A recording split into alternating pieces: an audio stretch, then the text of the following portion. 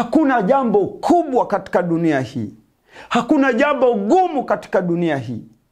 Kama Muislamu kumwambia Yesu Kristo alikufa msalabani, akazikwa, akafufuka. Baada ya siku tatu, damu yake iliyomwagika msalabani ili ukomboa ulimwengu. Hakuna jambo kubwa na gumu kumwingizia Muislamu kama hili, na hii ni kazi na jukumu la Nabii Eliya. Hakuna jambo kubwa na gumu katika dunia hii kama kumwambia Mkristo kwamba Yesu si Mungu bali ni mwana wa Mungu, akakuelewa. Zaidi ya karne kumi na saba watu wamefundishwa kwamba Yesu ni Mungu katika nafsi kuu tatu za Mungu, toka vita vya msalaba vilivyopiganwa duniani karne ya kuanzia karne ya kumi karne ya kumi na tatu Waislamu ambao waligombana na wa Roman Catholics pamoja na Waislamu, inaitwa Crusade War. Mpaka leo Waislamu hawaamini juu ya, ya crucifixion katika Kuislamu, katika Quran. Kwa hivyo vita vya msalaba, Roman Catholics walichofanikiwa ni kufundisha, ni kuondosha mafundisho yaliyofundishwa ndani ya Quran kwamba Yesu alikufa na kufufuka msalabani, wakabadilisha tafsiri ya Quran mpaka leo asilimia 99.9 ya Waislamu hawaamini kwamba Yesu alikufa na kufufuka. Sasa leo kazi hii Nabii Eliya kuifanya katika ulimwengu wa Kiislamu, Roho wa Mungu anahitajika, lakini hakuna jambo kubwa kama Wakristo kuambia Yesu si Mungu, ni mwana wa Mungu, kwa sababu hii kazi imefanywa na wapagani, Warumi, Waroma walioanzisha dhehebu katika imani ya Kikristo linayoitwa Roman Catholic. Roman Catholics.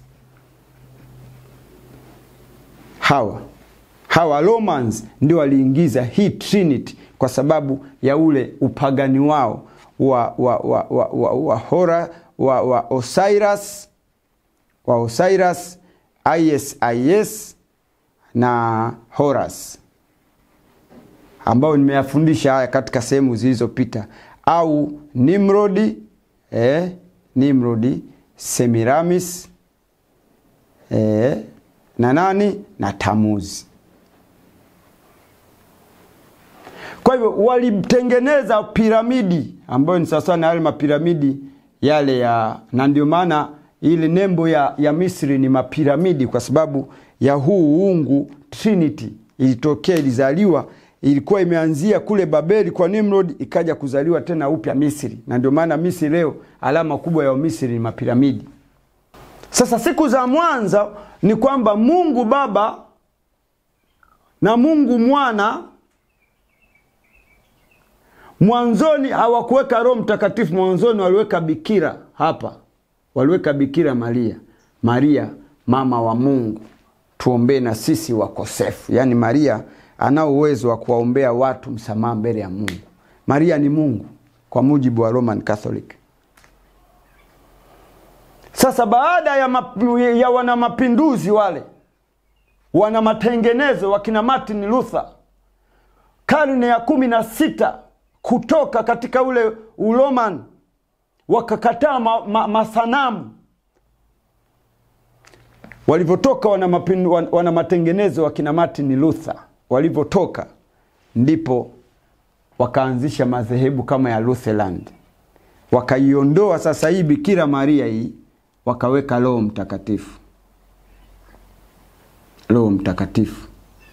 Kwa hiyo sasa Utatu Mtakatifu umeendelea kuwepo katika imani ya Kikristo na Roman Catholics wapo, lakini walioukataa kabisa huu Utatu Mtakatifu ni Wakristo wanaitwa Orthodox.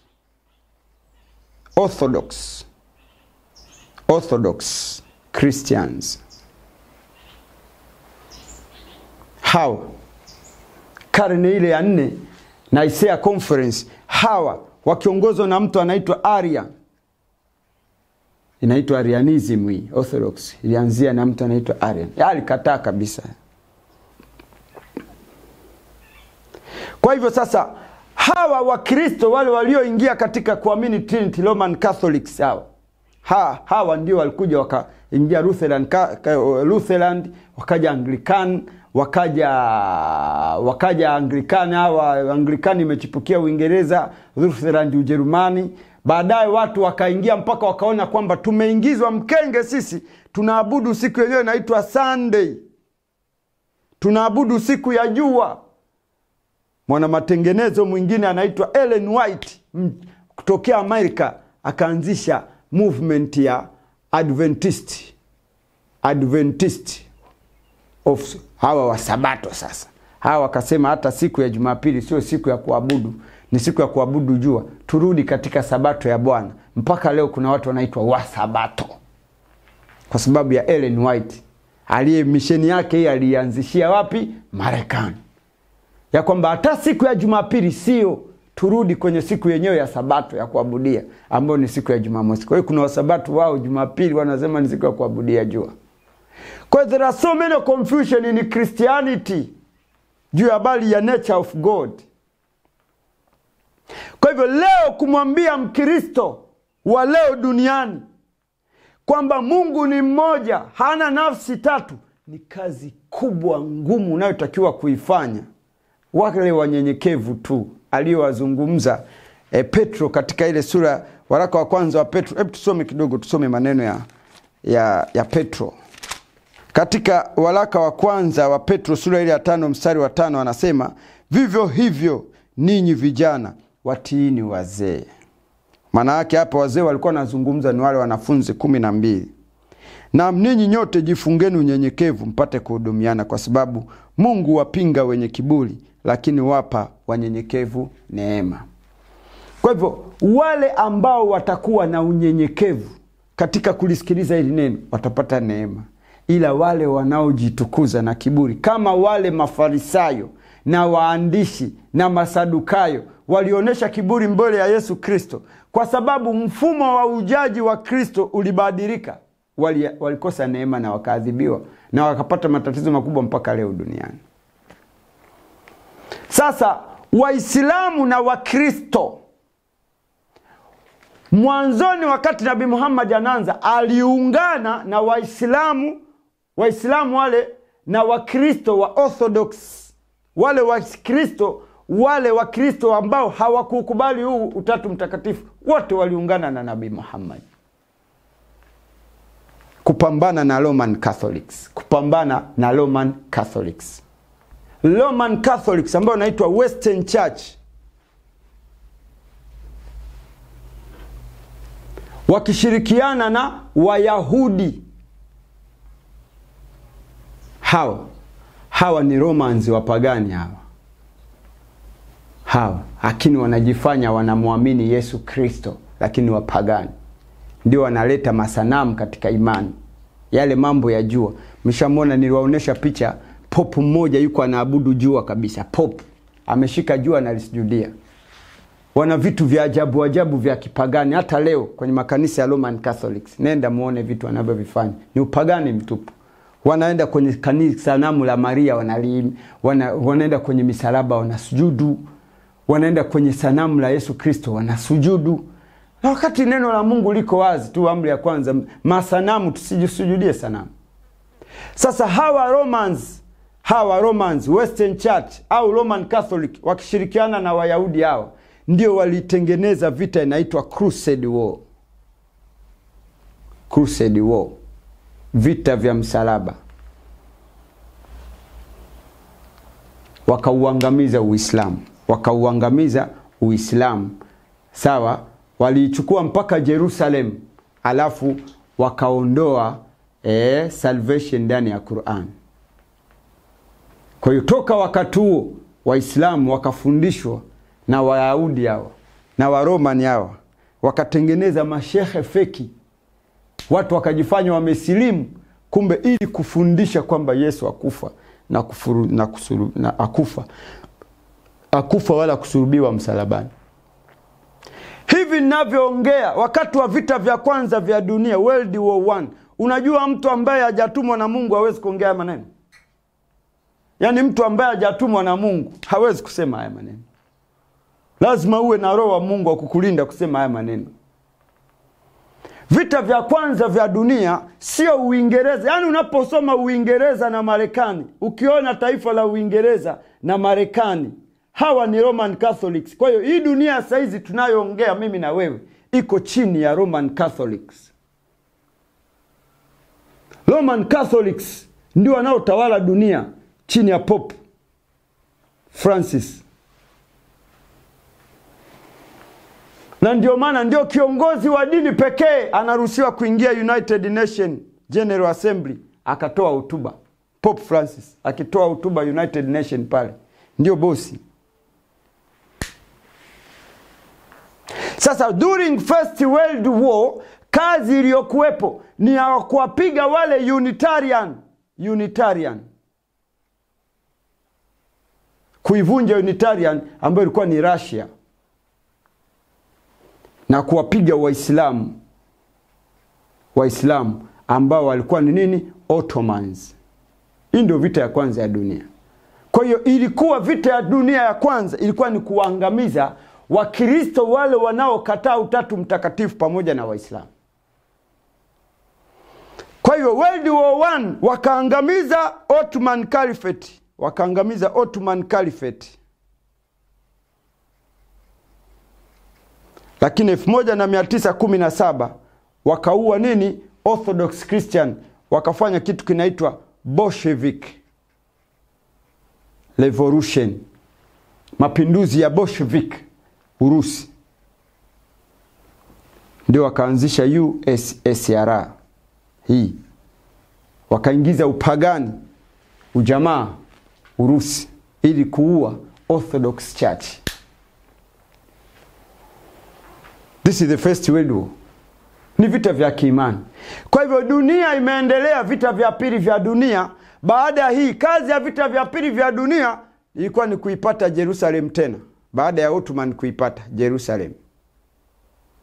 Kwa hiyo 1948 wakawa wameshapata taifa lao tena la Israel feki 1948. Sasa dunia ya sasa hizi hii tunayoishi mimi na wewe, baada ya kutengeneza vita vinaitwa nini? Vita vya kigaidi, vita vya kigaidi. Lengo la vita vya kigaidi ilikuwa ni sasa, hii ndio WLO3 inavyoingia hivi. WLO3 ilianza mwaka ile Septemba 11 2001, ile. Ndio World War 3 ilipoanza. Kwa hiyo w, w, w, ile World War 3 ilianza kwa kuwaua raia wa Marekani milioni tatu. Na kumsingizia Osama bin Laden kwamba ndiye amefanyaje, ametungua zile World Trade Center. Ili waweze kuiangamiza nini waweze kuipiga Iraki, waweze kuipiga Libya, waweze kuipiga Irani, waweze kuipiga Somalia, waweze kuipiga Syria, waweze kuipiga, Egypt, kwa sababu hizi nchi sita hizi ndizo zilikuwa zina watu ambao hawawezi kukubali Roman Catholic itawale dunia. Kulikuwa na kidume kinaitwa Saddam Hussein, kulikuwa na kidume kinaitwa Muhammad Mursi, kulikuwa na kidume kinaitwa Muammar Gaddafi. Sasa hivi kulikuwa na, na, na kidume kinaitwa nani kiko Somalia pale, alafu kulikuwa na kidume kinaitwa Bashar Assad eh, na Ayatullah Khomeini wa Iran. Wameshindwa Bashar Assad na Ayatullah Khomeini wamemshindwa. Roman Catholics yao sio Marekani, sio Uingereza, ni Roman Catholics ndio wanafanya hii kazi. Pope Francis ndiye anaongoza hii kampeni. Watu bado wanataka kulazimisha watu tuingie kwenye New World Order, kutoe wapagani. Walianza na mafundisho. Kwa hivyo hii ishu tunayowafundisha Wakristo wa kweli wa leo, mwelewe huu tatu upagani, huu tatu ulivyoigharimu dunia unaoendeshwa na Roman Catholics. Watu mlichokifanya ni kumwondoa pale kwenye utatu mtakatifu, kumwondoa Bikira Maria mkamweka Roho Mtakatifu, ni ule ule tu, hamjafanya chochote. Sasa leo hapa nataka niwaeleze kwa nini utatu mtakatifu ni upagani. Leo hapa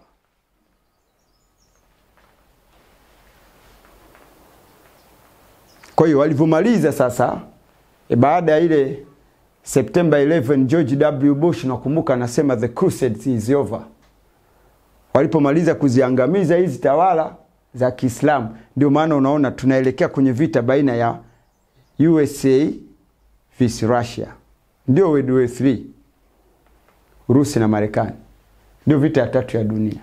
Ni kati ya Wakristo wanaoamini katika Unitarian na wale Wakristo wanaoamini katika nini?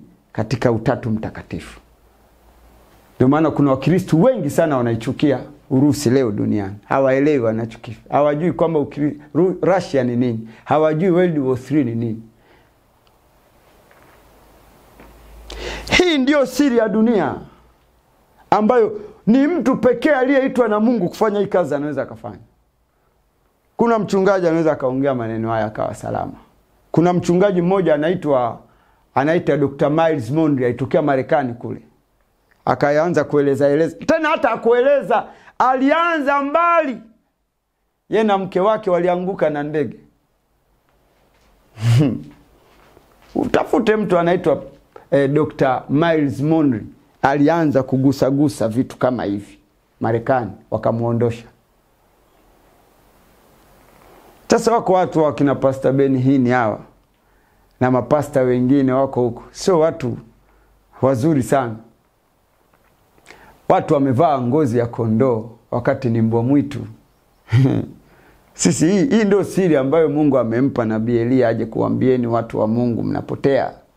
Dunia ni mbaya hii, muielewe hii dunia ilikofika, wapendwa.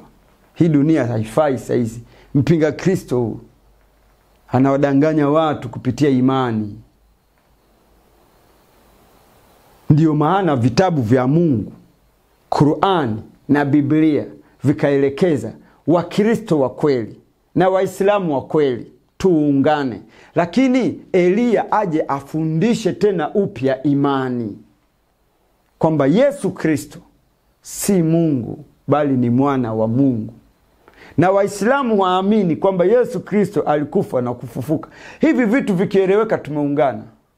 Vitu hivi viwili, Waislamu wakiamini damu ya Yesu, wakiijua damu ya Yesu, na Wakristo wakaelewa kwamba Yesu si Mungu, ni mwana wa Mungu, shetani amepigwa, kwa sababu asilimia hamsini na tano duniani ni Waislamu na Wakristo. Asilimia hamsini na tano duniani ni Waislamu na Wakristo. Sasa unategemea hii ngoma yote ikiungana kutatokea nini? Ndio maana Isaya anasema baraka ya Mungu itatokea. Kwa hivyo wale Waislamu na Wakristo watakaotii neno la Eliya watapata neema. Haini watakao bishi yatawakuta kama waliowakuta Mafarisayo pamoja na waandishi na Masadukayo, jiwe walilokataa e, jiwe kuu la pembeni waashi waliolikataa yaliwakuta. Sasa na nyie Waislamu na nyie Wakristu mnaomsikiliza elia kila siku mchana na usiku, mkiakataa haya hampo salama. Nawambieni dunia huko tunakuelekea, na muda si mrefu Mungu atanipa tu neema ya kuanza kuifikia dunia kwa lugha ya Kiingereza, nianze kuyazungumza haya kwa lugha ya Kiingereza. Wewe mtu wa Mungu unayenisikiliza, e, sema neno kwa ajili yangu, haya maneno yaweze kufika duniani.